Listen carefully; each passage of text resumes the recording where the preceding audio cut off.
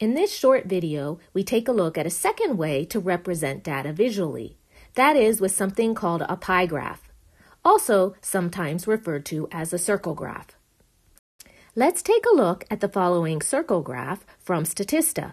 It represents the percent global market share for desktop operating systems in 2020. Now, this circle graph actually has pictures in it too, right? It has this computer in the middle. And maybe sometimes you see this circle graph as what we call a pie graph. So we could take that circle graph and all the information on it and translate it also into a pie, right?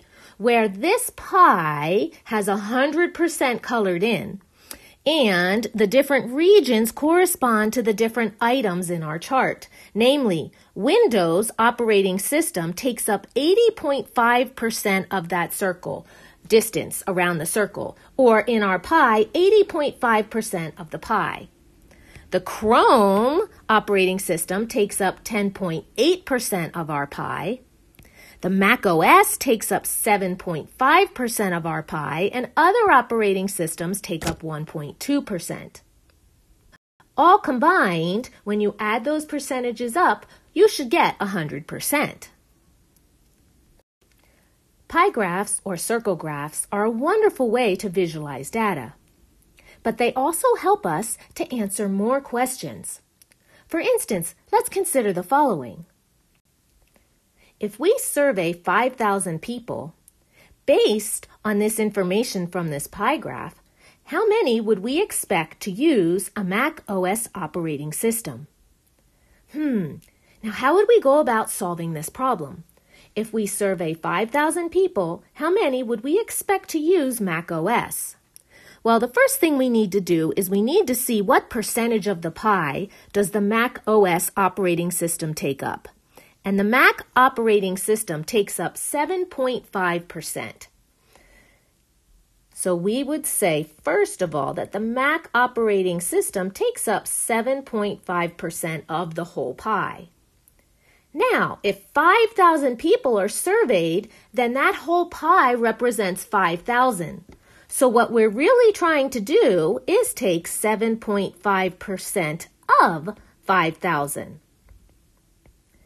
And when we see that word of, we know what that means in math. That's multiplication. So what we're doing is we're taking 7.5% times 5,000. And what do we do when we have a percent and we're going to multiply it? We first convert it into a decimal. We move two places to the left. So that means we have 0.075 multiplied by 5,000 yields 375. That's the total number of people that we would expect to use a Mac OS operating system from this survey. Let's take a look at one final question related to our circle graph.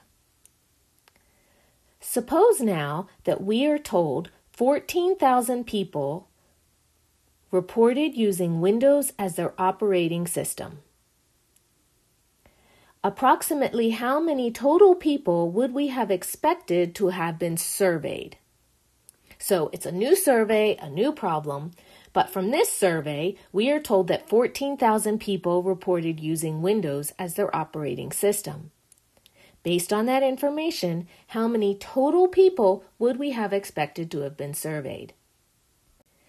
This problem is very similar to our last problem, but it is slightly different. And the key is the fact that this number here that we're given, 14,000 people, doesn't pertain to the entire circle, like in the last example. This particular number pertains only to the people using Windows. Instead, we're looking for the total. But we can set it up in a similar fashion. So I'm going to write down a statement and then I'm going to translate it into math. What is it that we know? We know that 80.5% of total people use Windows or equals Windows users, right? That's what we tell from this circle graph. 80.5% of the total people surveyed or collected for data are window users. We are told that 14,000 people are window users. We don't know the total number of people, so I'll put X there.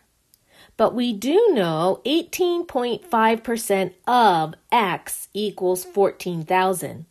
And 18.5% translates into the decimal 0. 0.0, nope, sorry, 0.805. Let me double check there. We move our decimal two places to the left. So that's 0.805. In other words, 0.805 times our total number of people is 14,000. This is the math equation that we can use to solve this problem. To solve this problem, we simply divide both sides of our equation by 0.805 on the left and the right.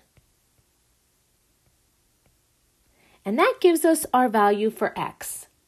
X is the total number of people in this particular survey. X is 14,000 divided by 0.805, and that is roughly 17,391.3 people can't really have a point people in there, so we'll round up and say that's equal to approximately 17,392 people.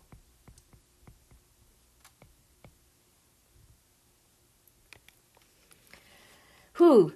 All right, that completes our mini discussion on circle graphs. If you have any questions at all, please don't hesitate to reach out and ask.